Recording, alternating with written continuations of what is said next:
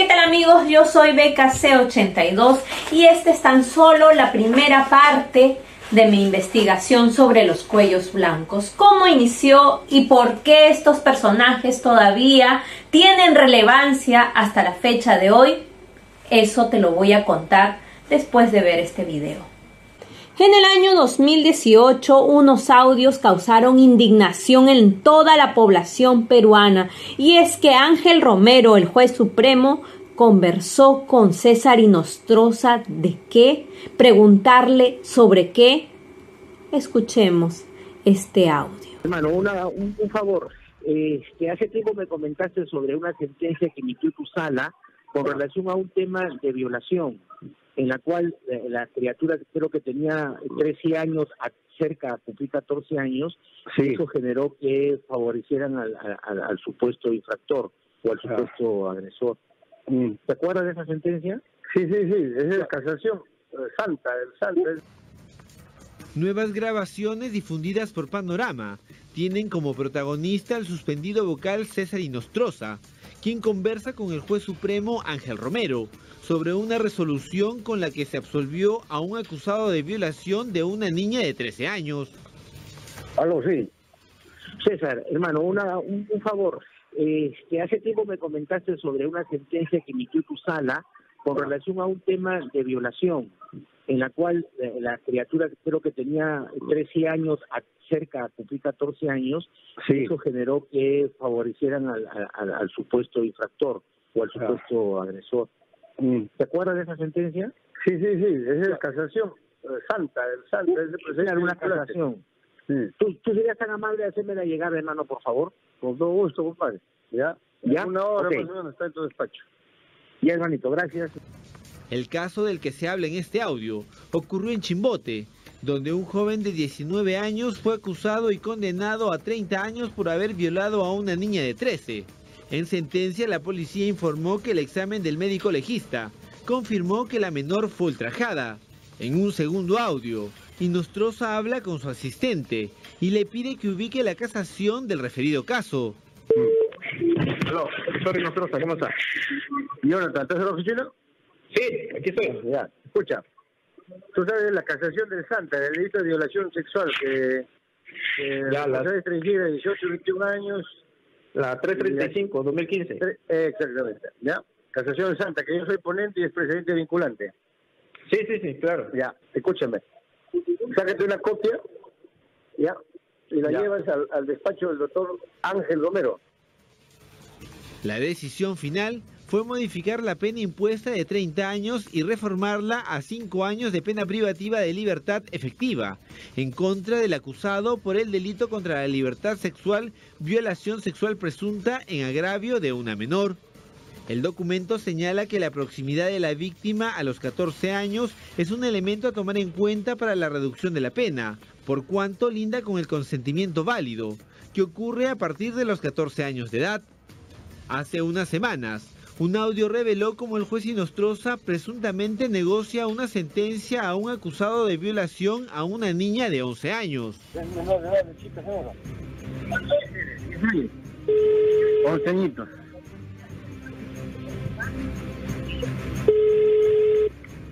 Pero está desflorada. ¿Pero quién le ha hecho eso? Ya, yo voy a, voy a pedir expediente modelo, ¿ya? Ya, ¿qué es lo que quieren? ¿Que le baje la pena o que lo declaren inocente?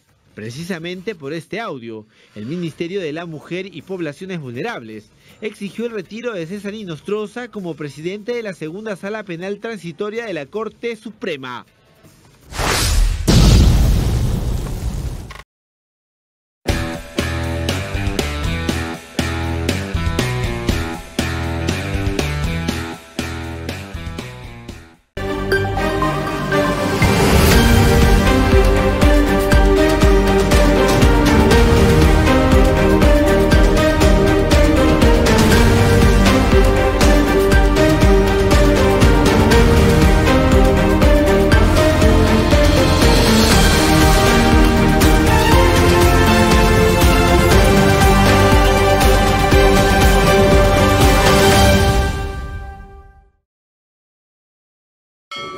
Pero Ángel Romero no solo le consultó sobre el caso de la violación a la niña, no, sino que también le consultó sobre un tema escandaloso que sucedió en el 2018 de la ONP.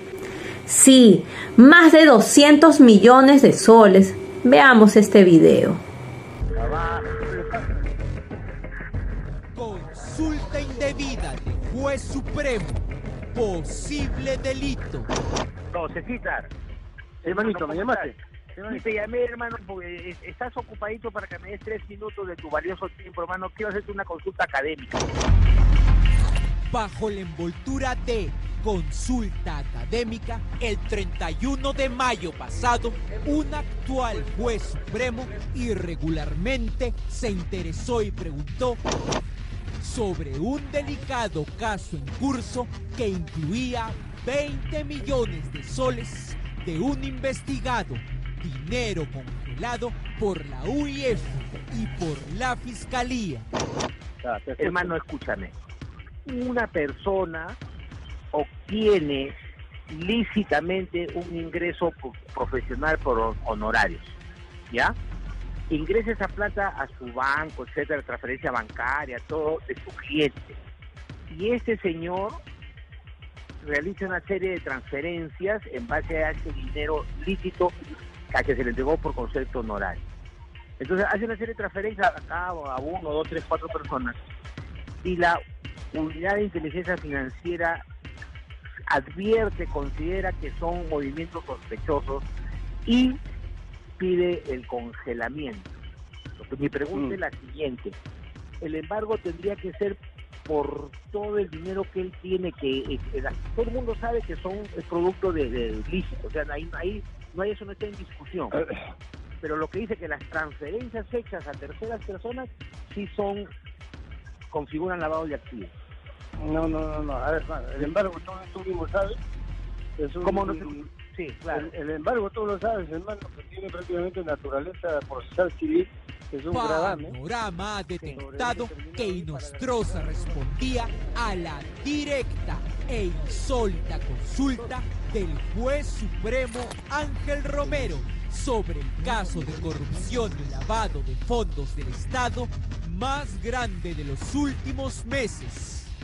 Los millones virlados a la ONP y lo que le tocó a su principal acusado, los 20 millones congelados del abogado Hernán Manuel Costa Alba. No, porque, porque qué cosa pasa, porque qué cosa pasa. Cuando se discutió el tema del congelamiento, se dijo, señores, en todo caso congele pues el equivalente de lo que ustedes dicen, que he hecho transferencia, pero no me pueden congelar lo que es el origen ilícito, todo. Pero eh, el juez no hizo caso y la corte confirmó el congelamiento. De todo, o sea, de todo, de todo, o sea, lo lícito y lo eventualmente ilícito. Claro, ese es el abuso y el exceso que se comete en este tipo de Romero habla y conoce del caso al dedillo, a pesar que el 31 de mayo no había explotado ni se conocían esos detalles. Se queja del congelamiento de los fondos que la fiscalía considera sucios y llega a hablar en primera persona del dinero en cuestión. Eso inclusive, inclusive eso ido hasta la Corte Suprema y la Corte Suprema ha hecho eh, este, infundada la casación, o sea, le da la razón. Pero yo lo que digo es, hermano, pero si hay un monto lícito, lícito, o sea, está acreditado, o sea, no hay, no hay duda alguna. Mm. Entonces ahí viene lo que tú dices. Ya, el embargo, hermano, pues pero por un El bloqueo. El bloqueo, hermano, es porque tú no puedes hacer nada, te inmoviliza, pues. por eso digo, van a movilizar toda la plata que yo tengo que de origen lícito, ya. José, pero movilizar toda la plata que yo El Supremo Romero el audio parece abogado del acusado Hernán Manuel Costa. Dice lo que dicen sus abogados no se debe congelar toda la plata de la cuenta, sino solo una parte de los 20 millones. Según Romero, como los abogados, todo es lícito, Por eso obtiene consejo de qué hacer de parte de Inostrosa. Por eso digo, van a utilizar toda la plata que yo tengo que de origen ilícito. O sea, o sea, esa es una especie de afectación al derecho de propiedad, como una especie de confiscación. De confiscación. Y en ese caso hay que iniciar un proceso de amparo. Claro, eso es lo que yo digo también, un amparo, porque si no van a concretar eso. Un amparo, eso se gana porque ya, trabajo. ¿Por qué Romero, un juez supremo, consulta como si fuera el afectado?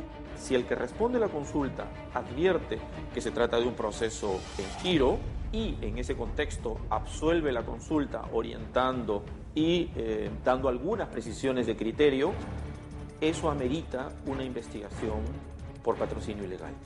Patrocinio ilegal es el delito. Patrocinio ilegal. Me parece clarísimo desde el punto de vista para un fiscal en el sentido de que tiene un caso para ir adelante en la investigación y probablemente plantear una acusación.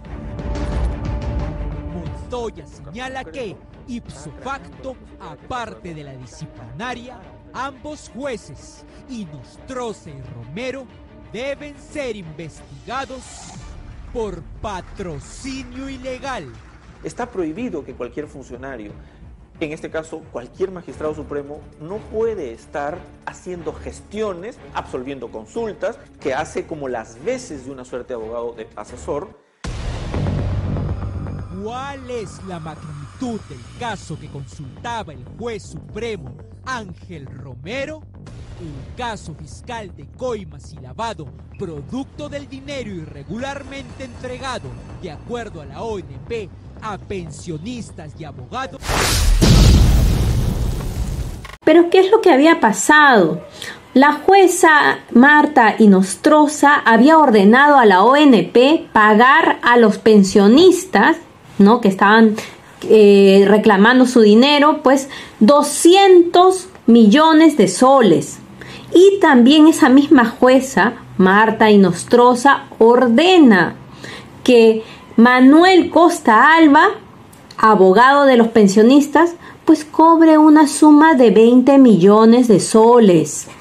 Ay, pero de esos 20 milloncitos de soles fueron repartidos 750 mil por aquí, 750 mil por allá, 500 mil por aquí y en fin, se hizo una repartija de lo que había preguntado el juez Ángel, ¿no? Al principio del video. Ay, al final dice, ay, me equivoqué, yo solamente quería hacerle la consulta a César y Nostroza, pero después bien que ya habían cobrado, ¿verdad? O sea, se descongeló ese dinero y todos cobraron su tajada. Qué bonitos los cuellos blancos.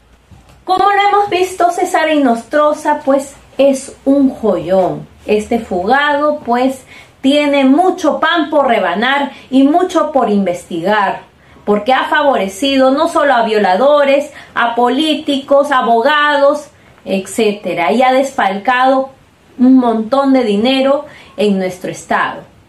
Pero no te puedes perder los más nexos que poco a poco iremos desmenuzando a través de este canal. Un abrazo y conmigo será hasta el próximo video.